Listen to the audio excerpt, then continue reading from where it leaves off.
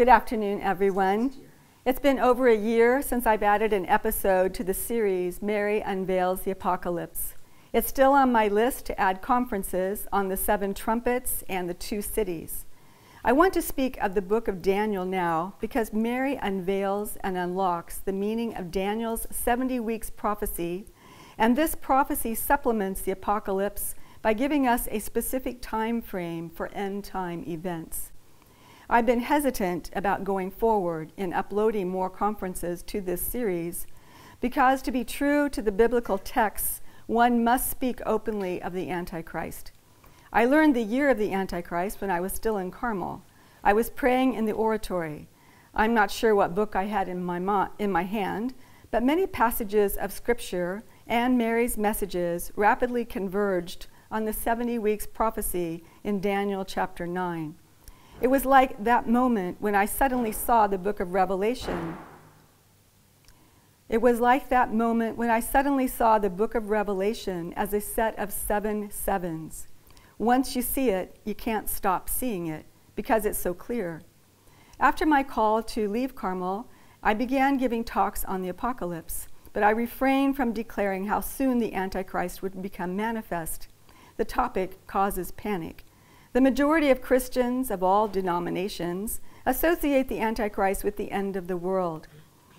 Catholics should know better because the Blessed Mother has been explaining the end time scripture passages since her apparitions to St. Catherine Labouré beginning in 1830.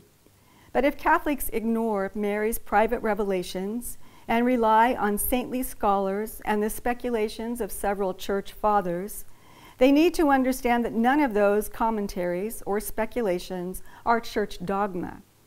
The Lord allowed holy men to conflate the reign of Antichrist with the end of the world because it wasn't crucial for them to know the details. They weren't destined to live through that era. And how could they describe or imagine the technological age that was coming? It is we who are destined to live through it. And the Mother of God has been appearing in our era because she wants us to understand and be prepared. In her apparitions, Our Lady tries to impress on us that we are living in the worst era of all of history, past, present, and future. It's never been and never will be again this sinful. The proliferation of sin has released an unprecedented amount of demonic activity. Mary explains that we are living in the end of times, plural, or the latter times. But she is definitely not talking about the final time, the end time, the end of the world.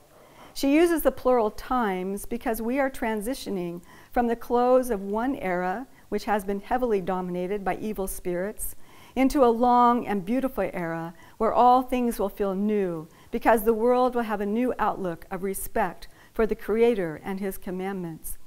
This era has various names, such as the era of peace, through the triumph of the Immaculate Heart of Mary, or the era of Christ the King, because Jesus will reign from the Eucharistic throne of his tabernacles throughout the earth.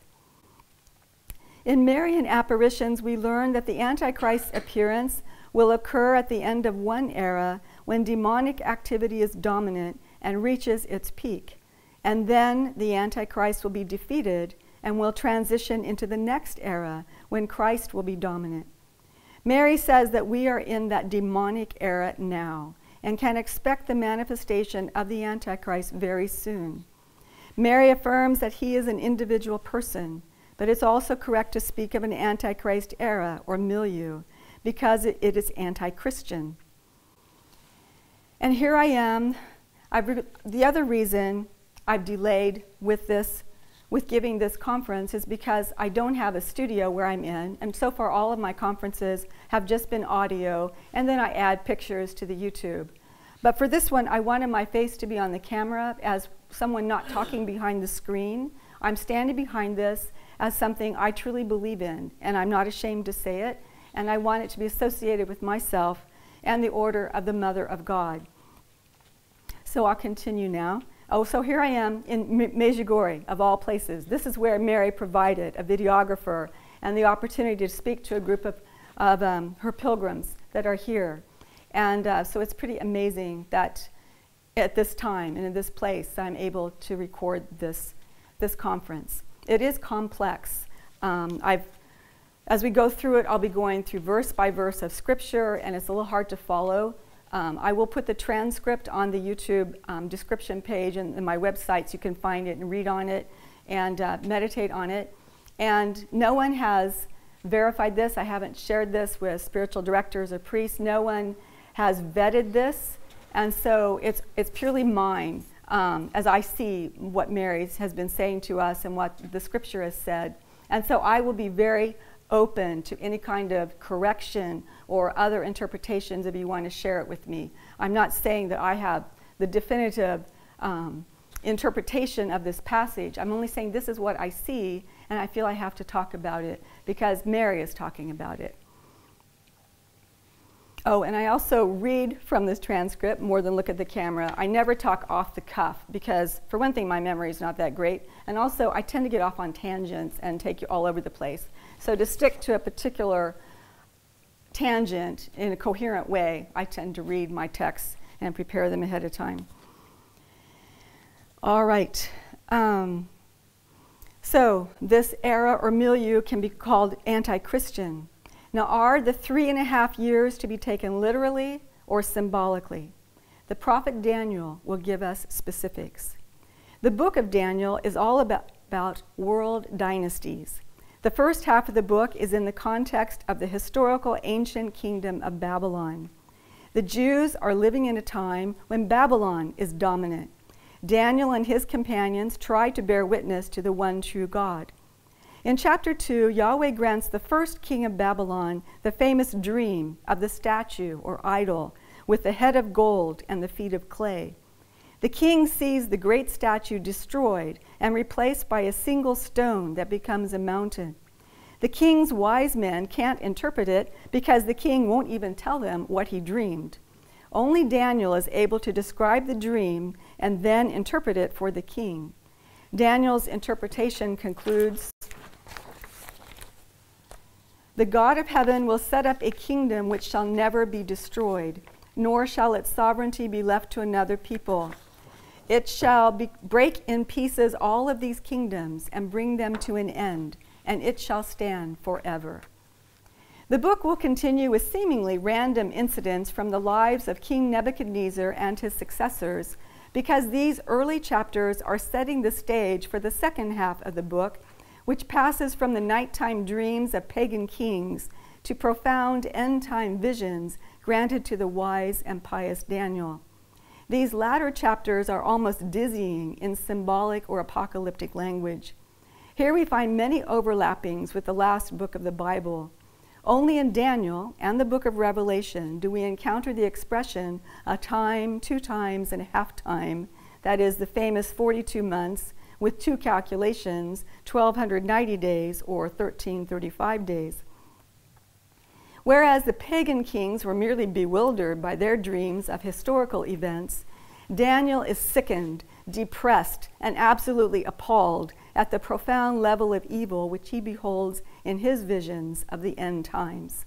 The books of Daniel and Revelation develops the same theme of a time that will be unsurpassed in distress a time of an enormous spiritual struggle between the kingdom whose capital is the bridal city of Jerusalem and the kingdom whose capital is the harlot city of Babylon. Whereas the book of Revelation was written after Jesus' birth, death, and resurrection, and is concerned with spiritual resistance to Christ, the book of Daniel is longer in scope because it prophesies the historical coming of Christ with amazing accuracy. What I saw in the cloister oratory a decade ago was that Mary shows us that the same Daniel chapter 9 timeline also predicts the appearance of the Antichrist. The venerable servant of God, Archbishop Fulton Sheen, gave a famous sermon entitled, The Only Person Ever Pre Announced. Here is a short excerpt. Quote, History is full of men who have claimed that they have come from God, or that they were gods, or that they bore messages from God. There's Buddha, Mohammed, Confucius, Christ, Lao Tzu, and thousands of others, right down to the person who founded a new religion this very day.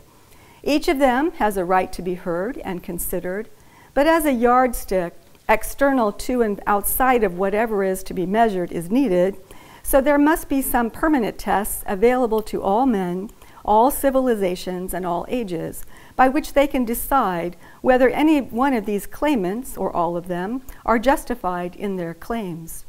These tests are of two kinds reason and history. Reason, because everyone has it, even those without faith, and history, because if any one of these men actually came from God, the least thing that God could do to support his claim would be to pre announce his coming. End quote. Archbishop Sheen goes on to explain how the Christ was the only person pre announced. Prophecies spanning more than a thousand years were so accurate that expectation was extremely high at the time of Jesus' birth, not only among Jews, but even by astrologers east of Israel, who showed up at court with gifts for the new king.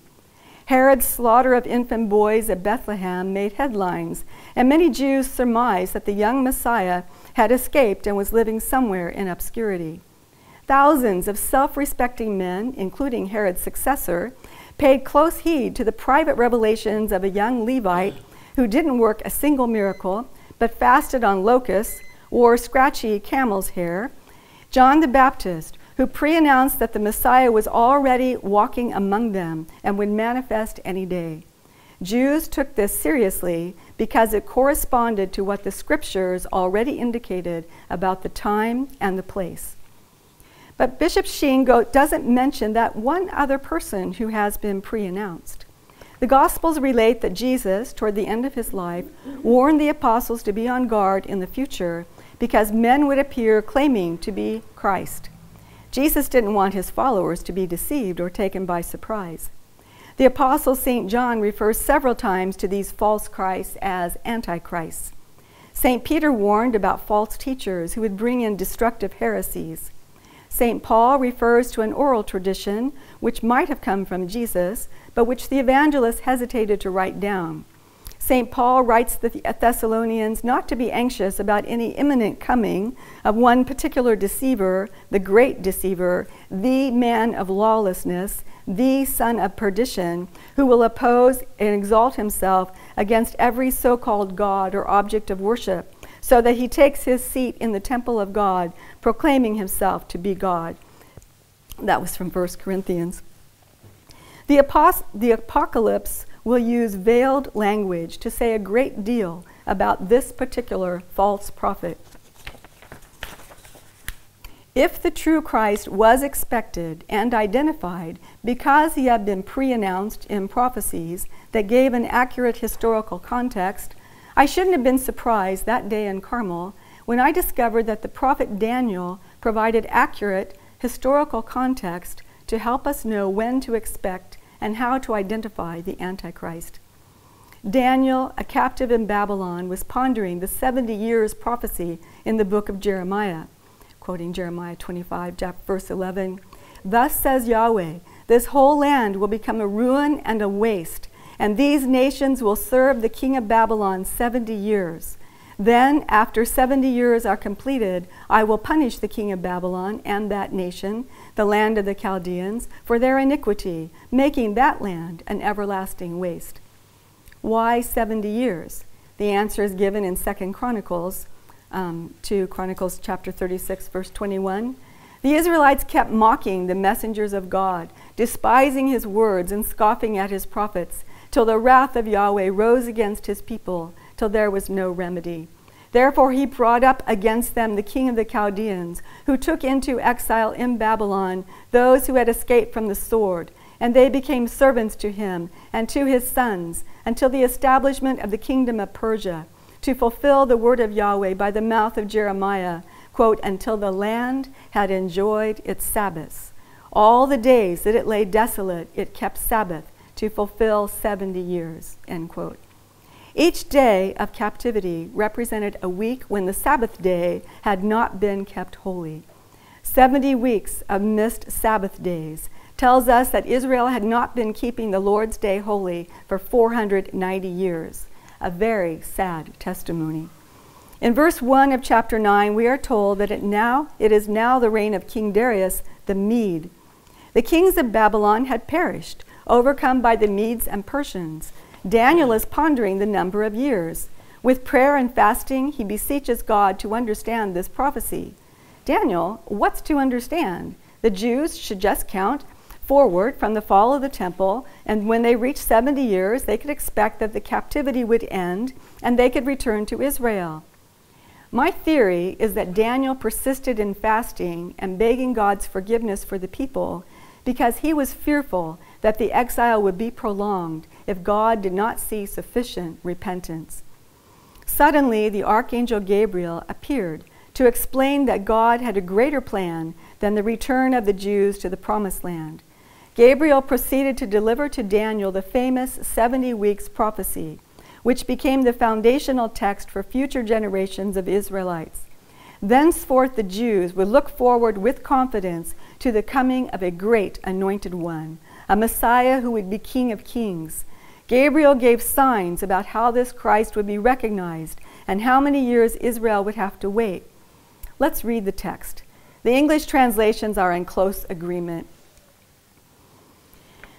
Um, it's chapter 9 of Daniel. There's four verses. They're quite long, verses 24 to 27.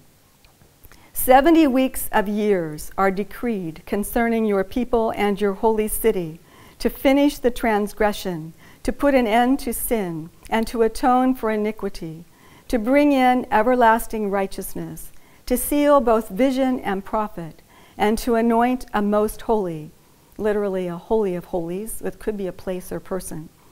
Know therefore and understand that from the going forth of the word to restore and build Jerusalem to the coming of an anointed one, a prince, there shall be seven weeks. Then for sixty two weeks it shall be built again with squares and moat, but in a troubled time. And after the sixty two weeks, an anointed one shall be cut off, and shall have nothing. And the people of the prince who is to come shall destroy the city and the sanctuary. Its end shall come with the flood, and to the end there shall be war. Desolations are decreed.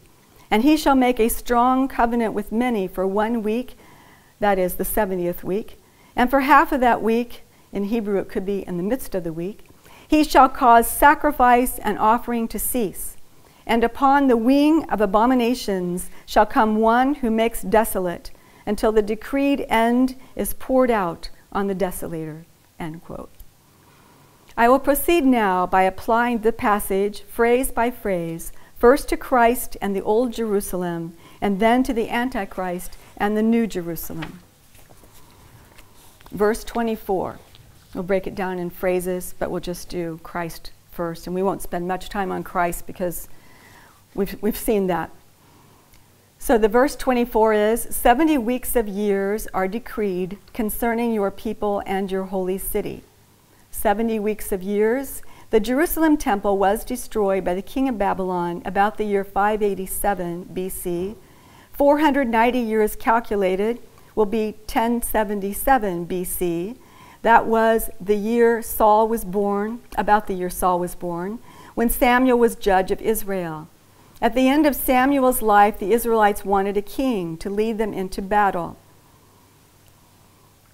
Quote, and, and continuing this verse, these years are decreed concerning your people and your holy city to finish the transgression. What is that? That began with original sin. To put an end to sin by forgiveness through the authority of the Son of God, and to atone for iniquity through Christ's death on the cross, to bring in everlasting righteousness by opening the gates of heaven to those who wish to share in Christ's re- resurrection, to seal both vision and prophet, because Christ will fulfill the law and what the prophets said about him, and to anoint a most holy by, giving, by Christ giving authority to Peter. Matthew 16, I tell you, you are Peter, and on this rock I will build my church, and the powers of hell shall not prevail against it. I will give you the keys of the kingdom of heaven, and whatever you bind on earth shall be bound in heaven, and whatever you loose on earth shall be loosed in heaven. So now we'll go over those phrases again, and we'll talk about how they could apply to the Antichrist. So, this section, verse 24, begins 70 weeks of years are decreed concerning your people and your holy city. How do we calculate these 70 weeks of years? In the first, we calculated backward from the king of Babylon and saw that they had not kept the Sabbath since the time of Samuel. Here we look 49, 490 years calculated backward now, takes us to the beginning of the 1500s, which marks the revolt of Father Martin Luther, an Augustinian priest, against the one holy Catholic Apostolic Church. A former Pentecostal Protestant provides a good summary of the significance of Luther's act. Quoting Mary Beth Kremski in Surprised by Truth I examined the roots of Protestantism, the Reformation. I thought it would make the most sense to look at the main root, Martin Luther. No matter what their present status, all Protestant groups owe their existence ultimately to him and are still influenced by his beliefs. Wanting the undiluted truth about the Reformation, I decided to examine actual documents from the times rather than rely on someone else's commentary. Contrary to what I had been told, she had been a Protestant, Luther did not lead a loyal reform. He took aim not simply at certain abuses or bad leaders within the church, but at the church herself. He opposed the church's assertion, held from the beginning, that she was endowed by Christ with the authority to teach and to shepherd the people of God in his name. Luther used the concept of spiritual equality to justify his stand against church leadership. He used the teaching of the priesthood of all believers to claim that the Pope and the bishops had no right, no special gift or power to lead and teach the Christian people.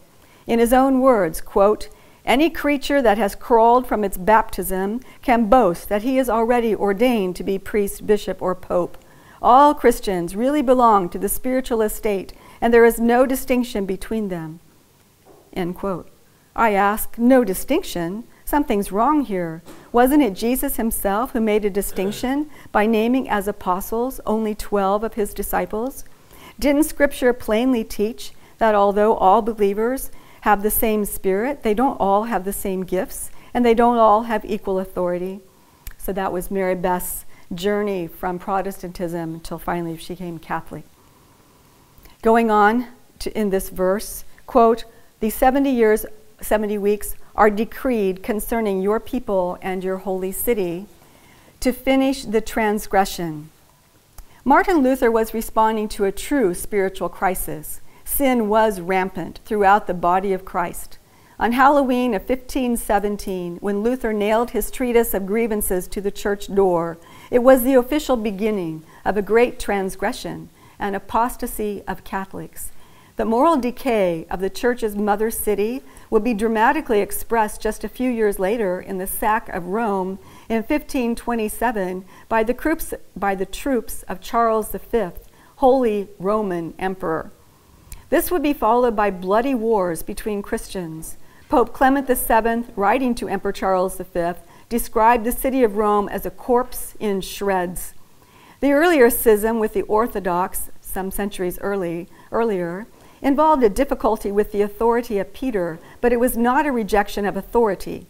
The priesthood, the Mass, the Eucharist, and the sacraments re remained intact for the Orthodox. But the Protestant revolt was a definitive rejection of Christ's presence in his body and blood in the body of Christ. This transgression has not been resolved. The unity of Christendom has not been restored. The breach has not been finished and repaired. Next, to put an end to sin. Sin began in the Garden of, in the Garden of Eden when the serpent provoked Adam and Eve to rebellion. The expulsion of demons from the earth would, end in, would, would put an end to an unceasing provocation. The apocalypse suggests that this will happen. Then death and Hades were thrown into the lake of fire. Next, and to atone for iniquity through the suffering of Christ's body of co workers, united under the headship of the first co worker, Mary, co redemptrix, who did not lose faith and run away, but stood firm beneath the cross. In the vision of the third secret of Fatima, the angels gather the blood of martyrs and sprinkle the people with their blood. Next, to bring in everlasting righteousness, that is, by the baptism of many nations. Quoting Revelations, then I saw a new heaven and a new earth. Behold, the dwelling of God is with men. He will dwell with them, and they shall be his people, and God himself will be with them. Isaiah, there shall be no hurt on all my holy mountain, for the earth shall be full of the knowledge of the Lord as the waters cover the sea. Next, to seal both vision and prophet because Scripture and many apparitions of the Blessed Virgin Mary will be proved true, and to anoint a most holy by the recognition of the authority of a new successor of Peter after a period of tribulation and confusion. Now we move on to verse 25, first applying it to Christ, the Son of Mary. Know therefore and understand that from the going forth of the word to restore and rebuild Jerusalem, this announcement refers to the definitive order of King Artaxerxes to rebuild Jerusalem, as recorded in the book of Ezra, chapter 7, which was given in the year 458 BC. Previously, two pagan kings, Cyrus in 538 BC and Darius in 520 BC, had called for the rebuilding of the temple, but progress was unsteady because the people were unprotected. The temple was sufficiently completed by 515 BC, at least for occasional ritual sacrifice to be reestablished, but the city of Jerusalem was still in ruins. After, no, excuse me, and then the next line, the coming of an anointed, a prince. After the definitive order from King Artaxerxes, Ezra arrived, a zealous anointed, a Levitical priest who was accompanied by 5,000 Jewish recruits from Babylon. This event marked a fresh beginning. Quoting Smith's Bible Dictionary from 1868, Ezra was a priest descended from Hilkiah the high priest, and he was empowered to appoint magistrates and judges in Judea, with power of life and death over all offenders. This ample commission from the king was granted him at his own request and it appears that his great design was to effect a religious reformation among the Palestinian Jews and to bring them back to the observation of the law of Moses, from which they had grievously declined. Ezra's autobiography ends abruptly, and we hear nothing more of him till 13 years afterward, in the 20th year of Artaxerxes, we find him again at Jerusalem with Nehemiah. The next line there shall be seven weeks. Nehemiah, the new governor of Jerusalem, arrived from Babylon about 445 BC. Scripture testifies that this was the man responsible for the rebuilding of the city, adding 49 years, seven weeks of years. From 458 BC, the year of Artaxerxes' decree, we are now at 409 BC, the year that Nehemiah's term of office is known to have concluded. Then for 62 weeks it shall be built again with squares and moat, but in a troubled time. 62 weeks encompasses 434 years. At the end of Nehemiah's governorship, the situation at Jerusalem quickly decayed. Chaos will reign in the coming four centuries as the Greeks and other nations make incursions on the land of Israel and the faith of the people. It will be a long struggle and a troubled time. The temple will be profaned and reconstructed yet again. Verse 25. Now we'll take those lines and apply them to the Antichrist, the son of perdition. Know therefore and understand that from the going forth of the word to restore and rebuild Jerusalem. This announcement refers to the definitive order of the Queen of Heaven. She appeared in Mexico at the center of the New World. At dawn on Saturday, December 9, 1531, St. Juan Diego was on his way from the hill of Topetlac near Cuauhtlán. A beautiful young woman appeared before a cloud and spoke to him. On Tuesday morning, December 12th, she told Juan Diego to climb up the hill, saying that he would find flowers blooming. Quote, This is the sign that you must take to the Lord Bishop in my name, tell him that with this he will see and recognize my will, and that he must do what I ask. And the Mother Mary continued, I ardently desire that a teocalli, a temple, be built here for me, where I can show and offer all my love, compassion, my help, and my protection, for I am your merciful mother. Here I wish to hear and help you, and all who dwell in this land, and all those others who love me and invoke and place their confidence in me, and to hear your complaints and remedy all your sorrows, hardships, and sufferings. And in order to carry out what my mercy seeks, you must go to the bishop's palace in Mexico and tell him that I sent you to make it clear how very much I desire that he build a teocalli, a temple, for me here on this place. You shall tell him exactly all you have seen and marveled at and what you have heard. I use that Aztec word because they say it means temple, not just a church or a place of worship. St. Paul taught that there were two Jerusalems. There was the earthly city, which represented those who followed the covenant of Moses, and there was the city above, the mother city, rep- which represents those who partake of the new and eternal covenant.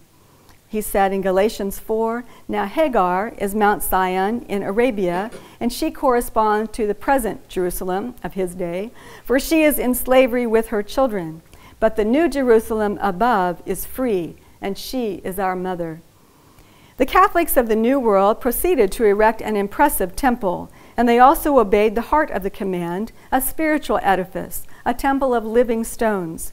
Mary's miraculous image imprinted on Juan Diego's tilma and her kind words during four days of apparitions won the hearts of the people of Mexico. Just at the time when 8 million European Christians broke off from Rome, 9 million Indians sought baptism. This is a quote from uh, the historian Dr. Charles Carroll. I think it's Charles.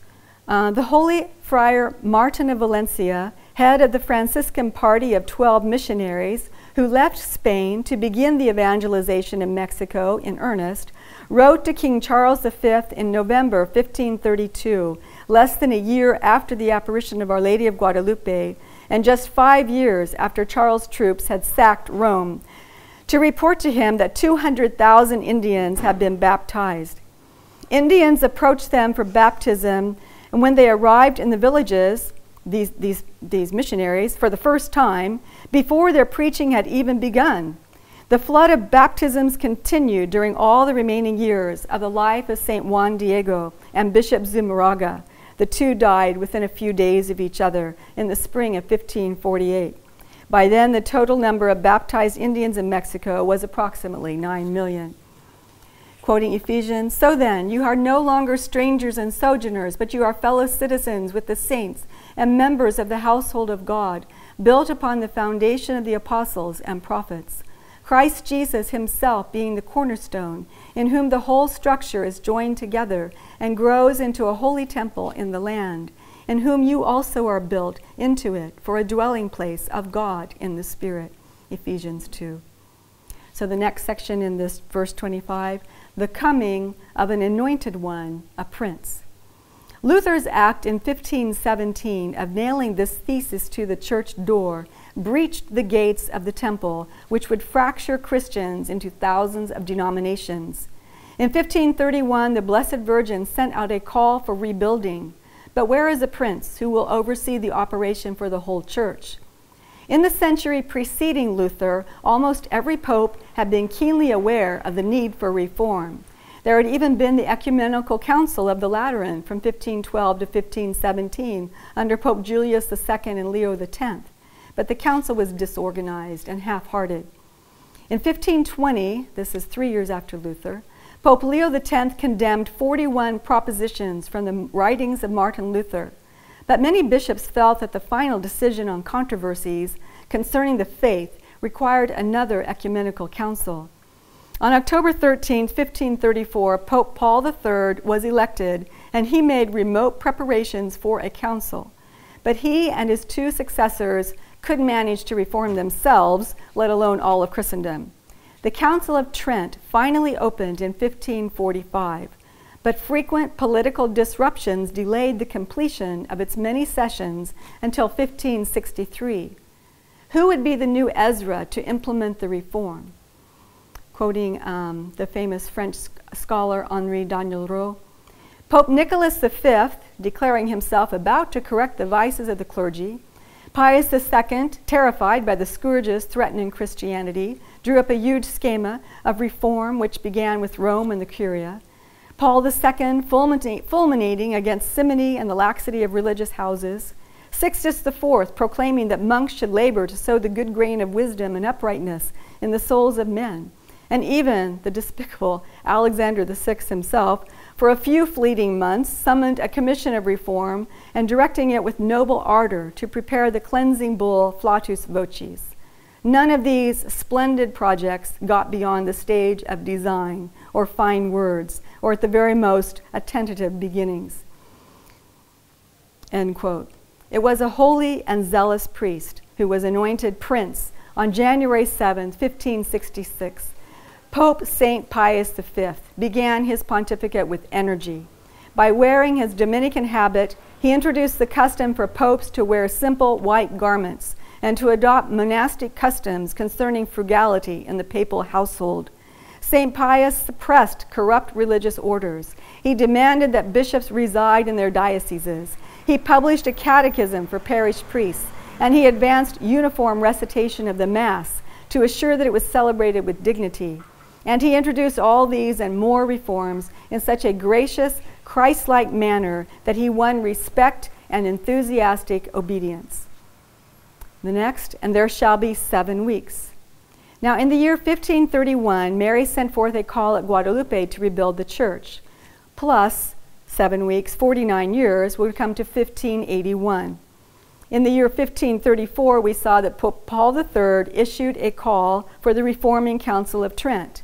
So 49 years from that leads us to 1583. So we're in the early 1580s between the two.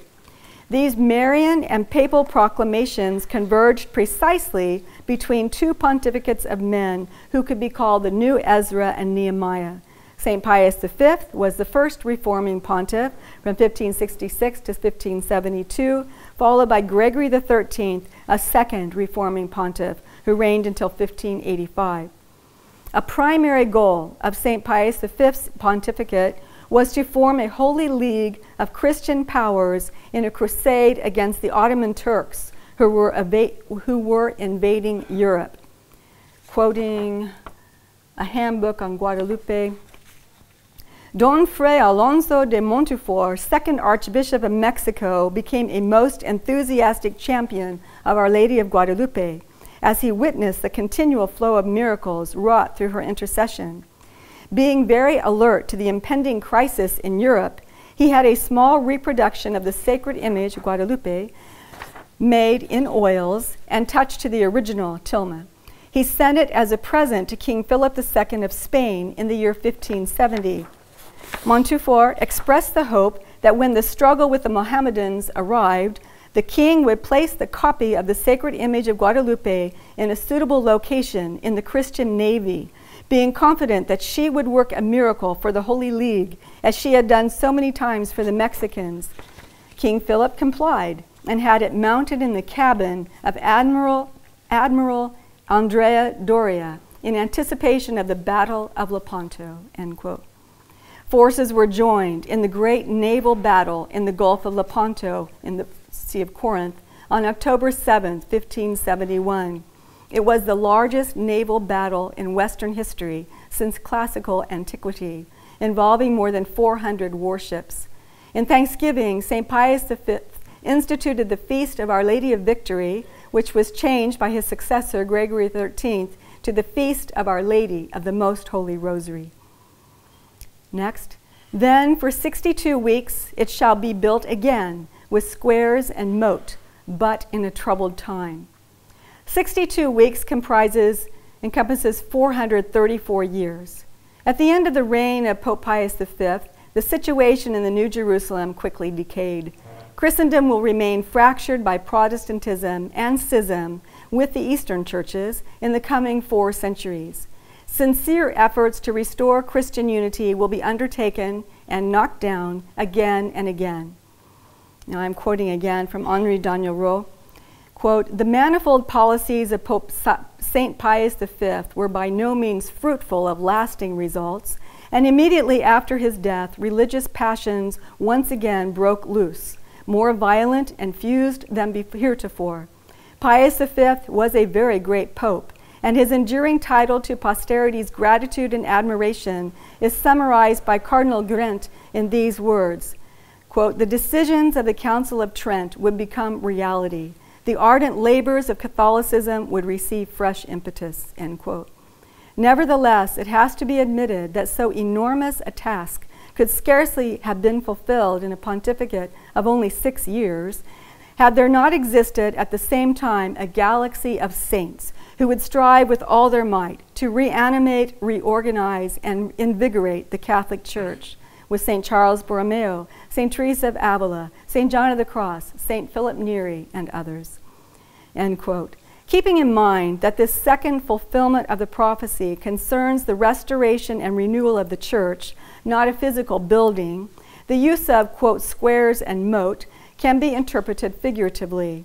The squares would represent the use of reason to explain the faith clearly in catechisms and decrees, while the moat represents defensive measures to protect Catholics from zealous heretics who might try to invade the stronghold. Now we begin verse 26, and we'll apply it first to Christ, the Son of Mary. And after the 62 weeks, going back to Christ, from 458 BC, the year of Artaxerxes' decree, plus seven weeks, 49 years, plus 434 years of the 62 weeks, brings us to about the year AD 24. Note, there is no calendar year zero if you're counting exactly. AD 26 is the year which many historians, including the ancient church historian Bishop Eusebius, give as the date of Jesus' baptism in the Jordan, which marks the official beginning of Christ's public ministry. So you see how the Jews were counting, they were expecting something to happen about the time of Christ that he did appear. Next, an anointed one shall be cut off and shall have nothing. Jesus is the anointed one who is cut off rejected by the authorities and put to death.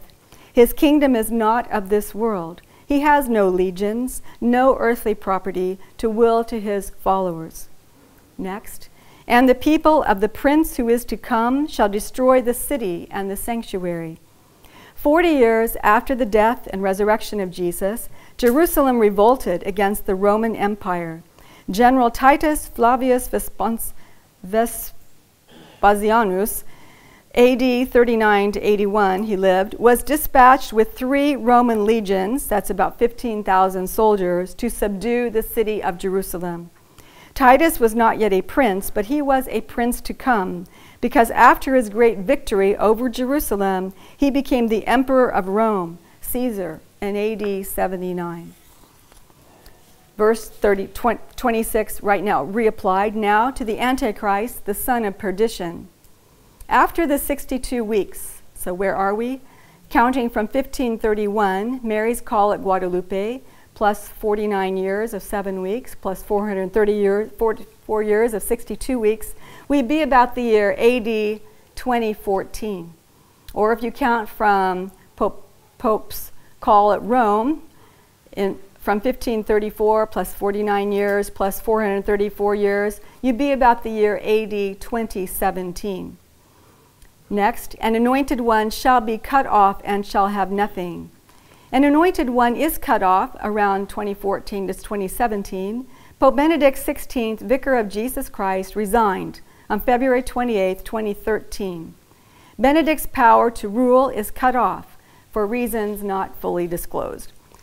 They're still arguing about exactly what motivated the Pope to resign and if he freely did so, etc. So moving on, and the people of the prince who is to come shall destroy the city and the sanctuary. Bergoglio, his successor, whose legitimacy is still obscure, immediately begins to cut off some of the papal property. In a show of poverty and simplicity, he renounces the papal quarters in the Vatican, the special vehicles, etc.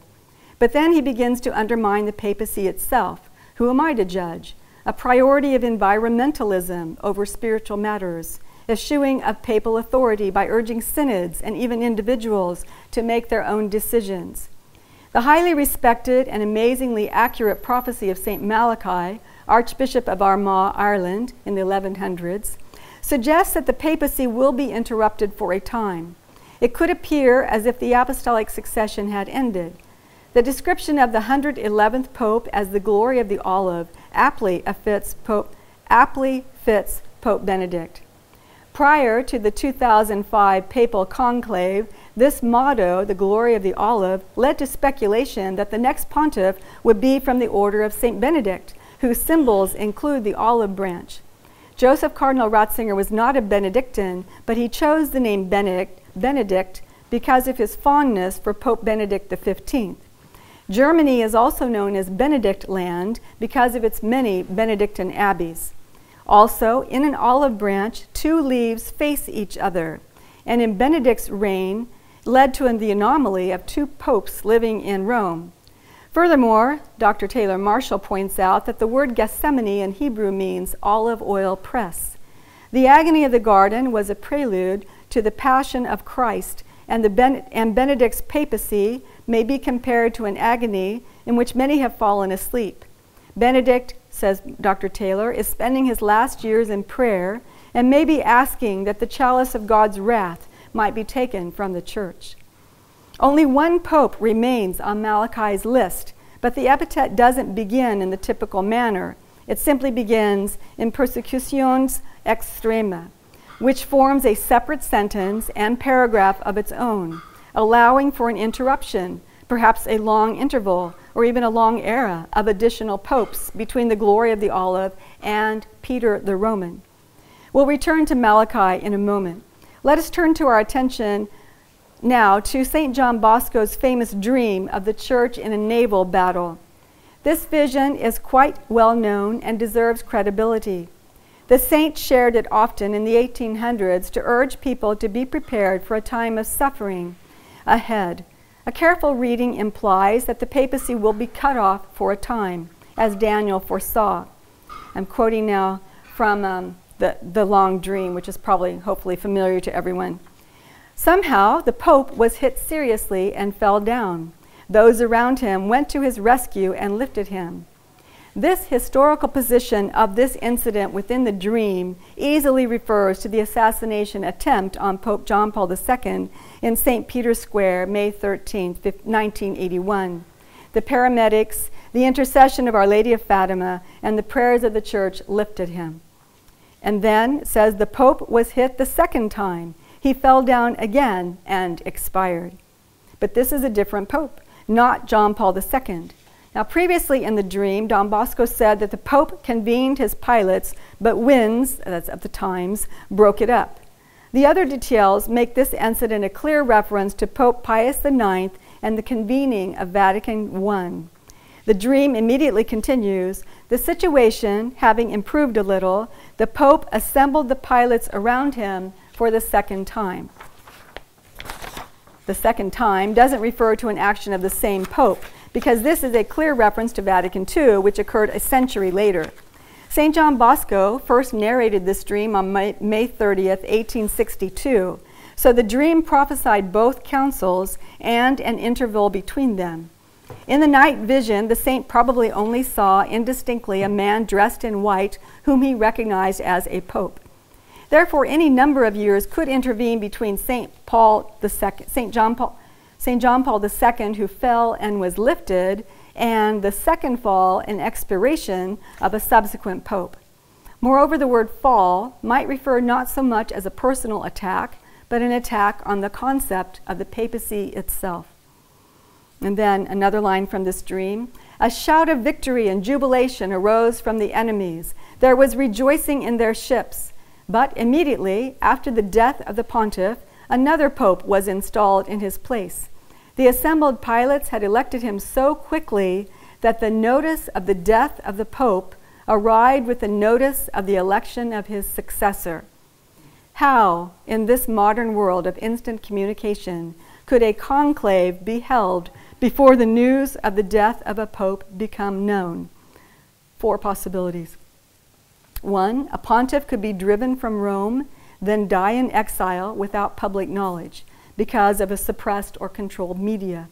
Cardinals could hold a secret conclave to elect a successor who might reign in secret for a period of time before he can be openly proclaimed as pope, at which time the public would learn of the death of his predecessor.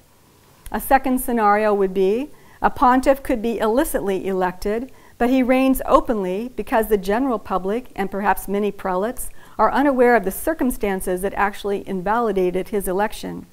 Therefore, for a period of time, the papacy has expired, but this is not public knowledge. Eventually, a certain number of prelates and cardinals would assemble privately to review the situation and pronounce the papacy null and void. They would proceed immediately to elect the next pontiff, in which case the announcement of the new pontiff would coincide with the announcement of the quote death of the pretended papacy, regardless if the former occupier of the chair of Peter might still be living. Third scenario a pontiff himself, licitly or illicitly elected, could undermine the concept of the papacy, fall into heresy, and lead many of the flock into heresy. He is now an apostate, no longer a Catholic, and therefore his pontificate, legitimate or illegitimate, has expired, even though he continues to reign until a certain number of prelates and cardinals would assemble privately to review the situation and pronounce the papacy null and void. They would proceed to elect the next pontiff, in which case the announcement of the new pontiff would coincide with the announcement of the quote death of the heretic pope, regardless if the former occupier of the chair of Peter might still be living. And then there's the fourth scenario. The apostate pope, just mentioned at number three, could announce the end of the papacy as an antiquated institution. Notice that the prince who is to come is not called an anointed. A cardinal is a prince of the church, but he might come to the papacy without the legitimate anointing. Also, prince is a biblical title for a variety of government offices, which might assume the government of the church in place of the papacy, as we see in patriotic churches in communist countries. Malachy suggests that the next pope, secretly elected, would face extreme persecution. I'll try the Latin. In persecutione extrema Romane ecclesiae sedibit Petrus Romanus, qui pascet, que pascet ovis in multis tribulationis, quibus transactis civitas septis colis derietur et judex tremendus, Judicabit populum suum, amen. Or in English, in extreme persecution of the Holy Roman Church, there shall reign Peter the Roman, who will feed his flock amid many tribulations, after which the seven hilled city will be destroyed, and the terrible judge will judge the people. Peter the Roman will be a good pope because he will feed his flock. His name might not be Peter, but he will be a legitimate successor of the apostle and a true vicar of Christ. He will defend Roman Catholicism. The seven hilled city would not be Rome, which this pope is defending, but the city of Babylon, shown in the Apocalypse as a harlot city who sits upon the seven horned beasts. God will send a chastisement to destroy the enemies of the church. Jesus, the anointed one, was cut off rejected by the authorities of his day and put to death. To cut off Christ's vicar, the successor of Peter, has been the goal of Protestantism from the beginning. The common denominator of the currently estimated 40,000 Protestant denominations is that they are Protestants, protesters of the papacy. Martin Luther declared, If I succeed in doing away with the Mass, then I shall have completely conquered the Pope. The ideals of Protestantism became subsequently reflected in Freemasonry's liberty, equality, and tolerance. Then communism sprang from Freemasonry. In 1845, Karl Marx became a member of the Masonic lodge Les Socialistes. Three years later, Marx published his Communist Manifesto under the orders of the Masonic leadership. Engels was a Freemason. Several sources reveal that Lenin became a Freemason whilst abroad in 1908. Lenin's comrades, Alexander Kerensky, Trotsky, and Engels, were all Freemasons. Lenin's objective was to overthrow all monarchies, all royalty. The apostolic succession from Christ to Peter and onwards would be a thorn to all ideologies which deny the divine authority of a human representative. The Blessed Mother has identified the red dragon of the apocalypse with communism and the two beasts with Freemasonry. I've discussed this in detail in the series, The Unveiling of the Apocalypse. It's not my purpose in this particular conference to show the multitude of corollaries between the book of Daniel and the book of Revelation. Here we are looking specifically at Daniel's 70 weeks prophecy, which focuses on the anointed one as it applies both to Christ and again to Antichrist. At Fatima, Our Lady told the children, The Holy Father will have much to suffer. And in the third secret, the bishop in white makes his way through a city in ruins to a large cross. Quote, having reached the top of the mountain, he is killed by a group of soldiers who fire bullets and arrows at him. We can interpret the arrows as similar to the books in Don Bosco's dream. Quote, all the enemy ships made a rush to attack her and went all out to capture and sink her, some with writings, books, and incendiary materials with which they were fully aimed, which they were fully armed, were trying to slant her others with their cannons, guns, and beaks. Killing a pope with bullets wouldn't stop the apostolic succession. Cardinals would elect a new pontiff, even if it was politically unsafe for him to act in public. But killing the papacy with pointed ideas to slant political thinking is more le lethal. What would happen to the Catholic Church if its own leaders decided that the papacy was an outdated mode of government and instead they set up the bishops in a sort of democratic parliament or gave all the baptized citizens equal votes equal right to vote.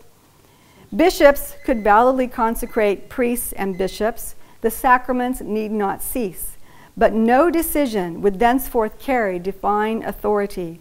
Christ did not make the 12 his representative but only one. No matter how many votes even if unanimous could assure the faithful that a decision or pronouncement of whatever kind would have the guarantee of the Holy Spirit's protection. Like all the Protestant and Orthodox churches, the body would only soon divide into factions, for a house divided cannot stand. This situation could last only for a limited time because Jesus promised, I say to you that you are Peter, and on this rock I will build my church, and the gates of Hades will not prevail against her. So, how long might this death of the papacy last? When the passage, an anointed one shall be cut off and shall have nothing, was applied to Jesus Christ, he reigned for about three years. Then he was rejected by the authorities and put to death. For nearly 40 years after Jesus' death, Caiaphas and his successors remained in public office as high priest and supreme pontiff. Peter reigned in secret.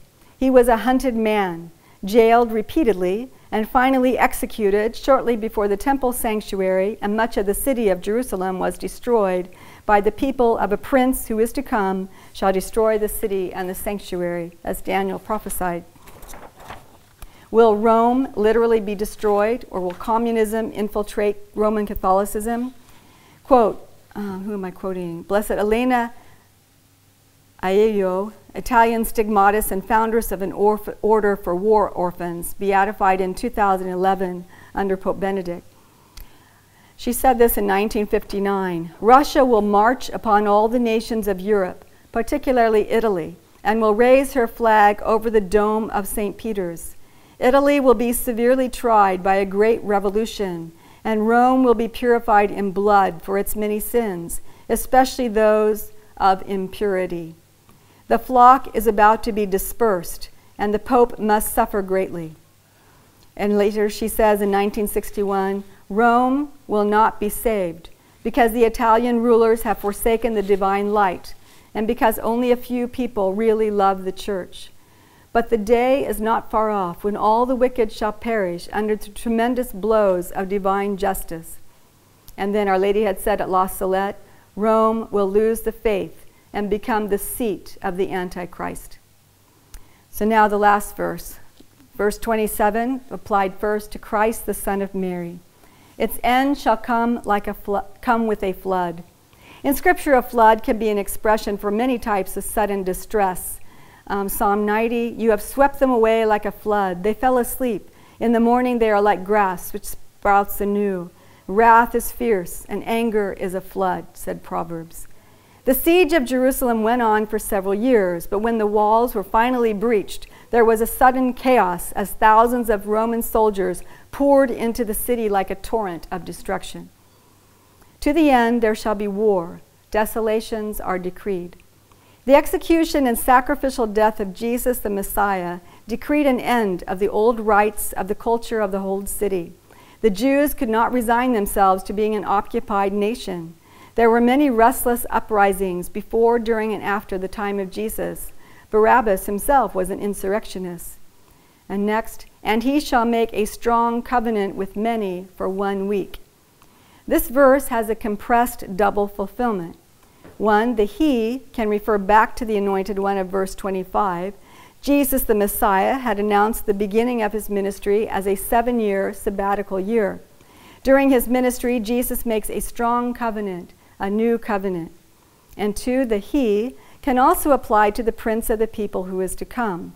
About the year 62 AD, Jew- Jewish Sicarii, that is, daggermen, massacred the Roman garrison in Jerusalem. The 12th Legion was sent to suppress the Zealots, but the daggermen defeated the Romans with 5,000 casualties and the loss of its Roman eagle. This meant war to the death between Rome and the Jews.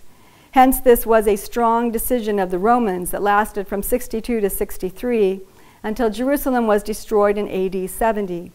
The he in this verse would refer specifically to the son of Vespasianus, also named Titus, who took over the commission when his father was called to Rome at the death of Nero in AD 68. In the next section, and in the midst of the week, the week of the Messiah is divided. The 70th week is the week of the Messiah. The seven years are, of this week are divided and enclose a generation of about 40 years. In the first half of the week, circa AD 27 to 33, somewhere in there, Jesus' ministry on earth comprised about three years and four months from Jesus' baptism to his crucifixion when the temple veil was rent in two. And then the midst of the week was AD 30 to 70. After Jesus' death, there was a 40 year interval of mercy. The apostles remained a long time in Jerusalem, preaching and worshiping in the temple. The Jews had time to reflect on the Messiah. Many had expected a political Messiah and did not recognize Jesus' true identity. But after considering his life and listening to the apostles, large numbers of Jews were baptized, including many priests even Rabbi Gamaliel, according to some traditions. However, other Jews hardened in their opposition to Jesus. This period was interspersed with erratic persecutions in synagogues in Israel and beyond. Stephen was killed. Paul was stoned and expelled from various cities. Toward the end of this interval of 40 years, a fearsome persecution broke out through the emperor Nero. It was a time for all Jews to decide for or against Jesus as the true Messiah. And then the conclusion of this week, the destruction of the temple, which went on from 67 to 70 AD. The accusation most cited in Jesus' trial concerned his identification of his physical body with the temple. When Jesus drove the money changers out of the temple, he was interrogated. The Jews then said to him, What sign have you to show us for doing this? Jesus answered them, Destroy this temple, and in three days I will raise it up. The Jews then said, It's taken us 46 years to build this temple, and you will raise it up in three days? But he spoke of the temple of his body. When therefore he was raised from the dead, his disciples remembered that he had said this, and they believed the scripture and the word which Jesus had spoken. Next section, and then the next verse. He shall, the next phrase in this verse, he shall cause sacrifice and offering to cease. The temple sacrifices definitively ended with the destruction of the temple, but they had begun to fail at 40, 40 years earlier when the curtain was torn at the time of Jesus' crucifixion. Moreover, a passage in the Talmud, the Rosh Hashanah, um, section 3, relates a rabbinic tradition in which a scarlet thread would turn white on Yom Kippur if the atoning ritual sacrifice was accepted. During the 40 years preceding the fall of the temple, the scarlet re- thread remained scarlet. It did not turn white. And then, upon the wing of abominations shall come one who makes desolate, until the decreed end is poured out on the desolator. English translations of Daniel's prophecy of the 70 weeks are generally in close agreement. But there is some uncertainty regarding the expression concerning the wing. Does it refer to an architectural section of the temple? Or does it refer spiritually and metaphorically to an overspreading of abominations? Both aspects applied in the first century. The Jewish historian Josephus was personally present during the siege at Jerusalem, and he left a detailed account of the rebellion of certain Jews who claimed allegiance to political messianic figures. In the year AD 66, the Jews successfully expelled the Romans from Jerusalem. In response, the Emperor Nero dispatched an army under the generalship of Vespasian to try to restore order. Meanwhile, Nero committed suicide, and Vespasian went to Rome to be crowned emperor. Vespasian sent his son Titus to continue the siege. Amidst the turmoil, the vast store of provisions for the temple sacrifices was burned. The sacrifices ceased, and starvation ensued. On August 10th, AD 70, the uncircumcised Romans razed the city and burned down the temple. No Jew was allowed to live in the city except those in the service of the 10th Legion. The abominations is in the plural. The destructive presence of the Roman pagans within the sanctuary was an abomination. The rituals in the temple had become an abomination because the true sacrifice of Jesus Christ, the Son of God, was the true and the true Messiah had been rejected. And then there was the blood of the slain, which defiled the temple, another abomination. Proverbs 15 The sacrifice of the wicked is an abomination to the Lord. Proverbs 28 If one turns away his ear from hearing the law, even his prayer is an abomination. Proverbs 3 The perverse man is an abomination to the Lord. The desolator is in the singular. A single desolator could be the body of rebellious Jews who were responsible for rousing the wrath of the Romans. And a single desolator could have been the person of Titus. Titus, like Pilate, tried to wash his hands of responsibility, saying that he did not order the fire to be started, which destroyed the temple, because he, Titus, had hoped to convert the temple of Yahweh to a temple honoring a Roman god. That was an abomination that Yahweh did not allow. So now, this final verse applied to the Antichrist, the son of perdition. Its end shall come with a flood. Revelation 12, and the serpent poured water like a river out of his mouth after the woman, so that he might cause her to be swept away with the flood. Who is the apocalyptic woman at war with the serpent? A great sign appeared in heaven a woman clothed with the sun, and the moon under her feet, and on her head a crown of twelve stars. The woman clothed with the sun is different from the bride of the Lamb, the new holy city mentioned later in the same book of Revelation. The woman clothed with the sun appeared at Guadalupe. I am the ever virgin Mary, mother of the true God. Mary spoke in the Indian language, and the combination of words which used must have sounded like de Guadalupe to the Spaniards. The Aztec te Guadalupe has a similar sound, pronounced somehow, Tequaluspe. Te means stone, qua means serpent, tla can be interpreted as the, while zupe means serpent. The feathered serpent god, Quetzalcoatl, was one of several Aztec gods to whom the Indians annually offered over 200, over 20,000 men, women, and children in bloody sacrifice. However, by calling herself the entirely perfect Virgin Mary, we think of another serpent, the one in Eden. Pope Pius IX declared in his encyclical Ad Diem Illum that the woman in Revelation, Revelation 12, quote, signified the Virgin Mary, who remained inviolate when she brought forth our head. So John the Apostle saw the most holy Mother of God already enjoying happiness, yet travailing in a kind of mysterious childbirth. What birth was this? Clearly, it was the birth of us who are still de- detained in exile and yet to be generated in the perfect charity of God and to eternal happiness. And the labors in the childbirth show the desire and love with which the Virgin on her throne watches over us and strives with unceasing prayer to complete the number of the elect. General apostasy of the whole church would mean the end of forgiveness. Hebrews 10 If we sin deliberately after receiving the knowledge of the truth, there no longer remains a sacrifice for sins, but a fearful prospect of judgment and a fury of fire.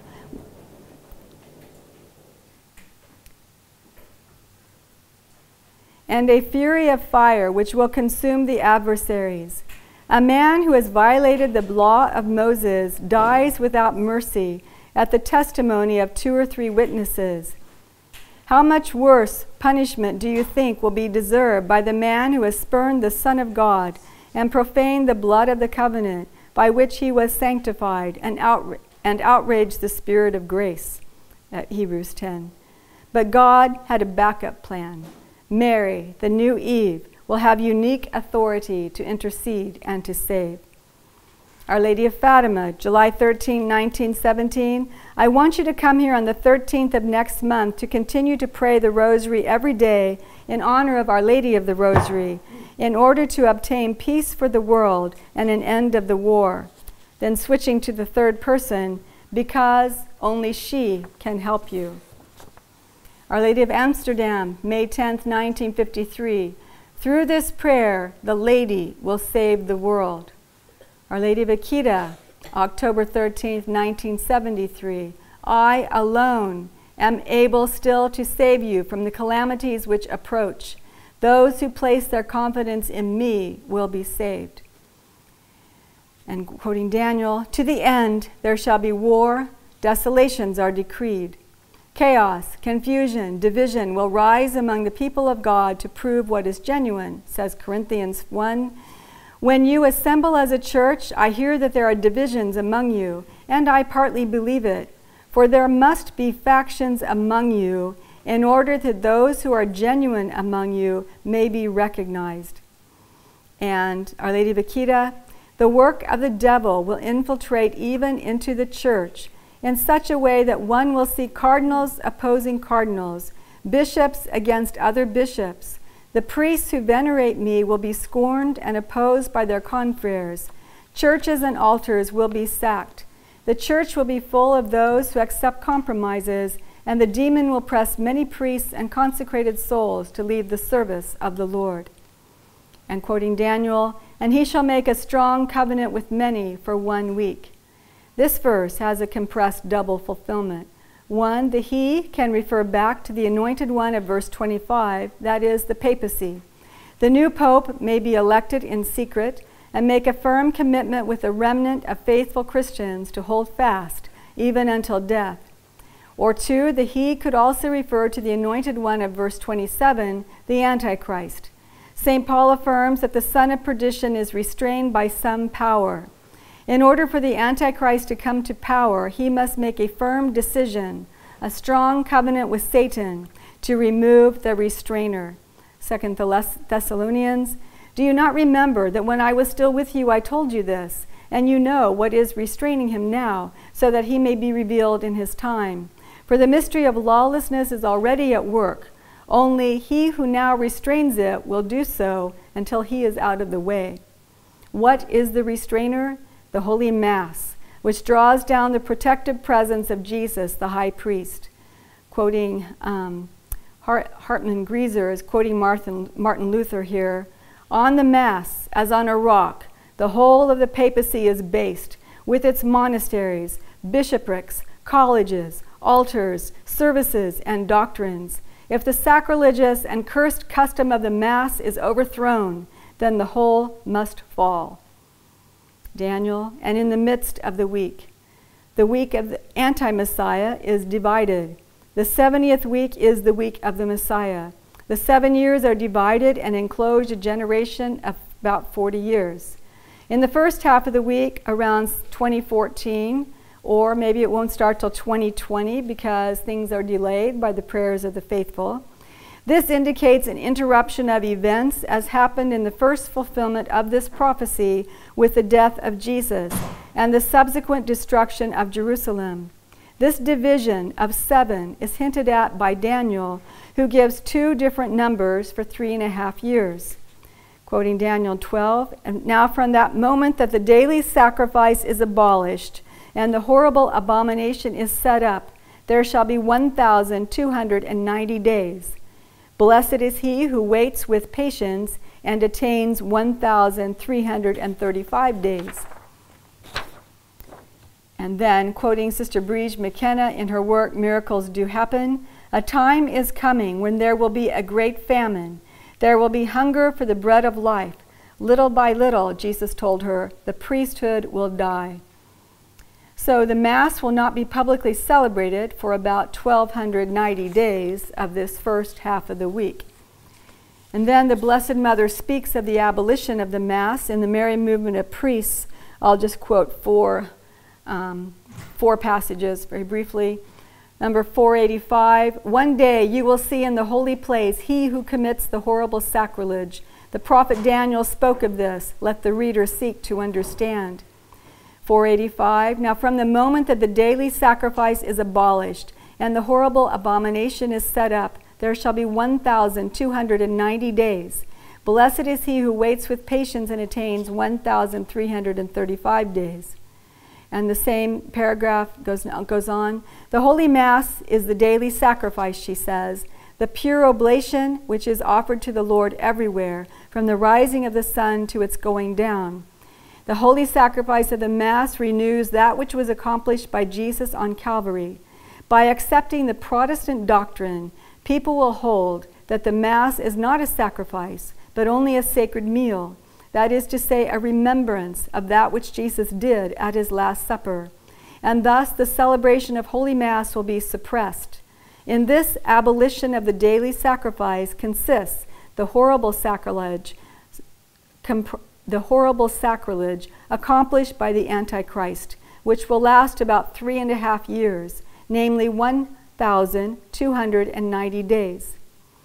And then Daniel, in the midst of the week, I would say maybe around 2014 to 2054, this time could be shortened, Jesus says, for the sake of the elect. Sometime after the three and a half years of tribulation, during the reign of the Antichrist, there would be a long interval, about 40 years, in which people have a chance to reflect on the extreme evil and to make a choice for or against God. And then the conclusion of the week would be around 2053 to 2054, according to Our Lady of Amsterdam. In her 46th message, she said on May 10, 1953, 53 is the year of the Lady of all nations. 53 is the year in which she, under this title, has to be made known among the nations. 53 is the year in which the great world events and world catastrophes will happen and threaten. This is why the lady asks you to pray this prayer and spread it out as much as possible. And then her 47th message, October 11th, 1953 the year 53, that is the year in which the Lady of all nations must be brought into the world. For a long time, the lady remained silent um, after this, um, Ida said. And then she said, The Lady of all nations will be allowed to bring peace to the world, yet she must be asked for it under this title. The Lady of all nations will assist the Church of Rome. The Church of Rome, the community, shall invoke Mary, the mother of the Lord Jesus Christ, under this new title, the Lady of all nations. They shall pray my prayer against degeneration, disaster, and war, and bring it among all nations. I shall help the Church of Rome, the community. The nation shall invoke me under this title. Then the great work begins the crowning of Mary, the proclamation of the dogma of co redemptrix, mediatrix, and advocate First, however, let the church and the nations invoke Mary under her new title and pray her prayer so that degeneration, disaster, and war may be staved off from this world. If they do so, the nations of Europe will breathe a sigh of relief after the year 54. Now, the fifth day brings in the three days of dark, with the fifth dogma, I've got misspelling. With the fifth dogma, Mary will be able to act as the new Eve with her Son, Christ, the new Adam, they will be able to expel all the demons from the face of the earth. As in the days of Exodus, there will be a plague of darkness, followed by the execution of the sons of Satan and many men and women who love evil. The just are to remain in their houses. not behind doorposts marked with the blood of lambs, but with their lips touched with the Eucharistic blood of the Lamb of God. The three days of darkness prophecy is well known, so we won't spend time on it here. Daniel continues He shall cause sacrifice and offering to cease. All worship to Satan will definitively cease. False worship is an abomination to the Lord. Babylon is the unholy city, a cosmic entity, not a geographical place. Everyone in the world, including Christians who accept its corruption, becomes detestable.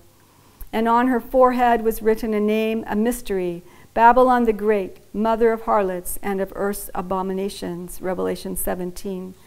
Now, I'll quote from Ezekiel chapter 8 Go in and see the vile abominations that they are committing here. So, says Ezekiel, I went in and saw, and there portrayed upon the wall round about were all kinds of creeping things, and loathsome beasts, and all the idols of the house of Israel. And before them stood seventy men of the elders of the house of Israel, with Jaazaniah the son of Shaphan standing among them. Each had his censer in his hand, and the smoke of the cloud of incense went up. Then he said to me, Son of man, have you seen what the elders of the house of Israel are doing in the dark? Every man in his room of pictures? For they say, The Lord does not see us, the Lord has forsaken the land. The Lord said to me also, You will see still greater abominations which they commit. Then he brought me to the entrance of the north gate of the house of the Lord, the temple. And behold, there sat women weeping for Tammuz. Then he said to me, Have you seen this, O Son of Man? You will see greater abominations than these.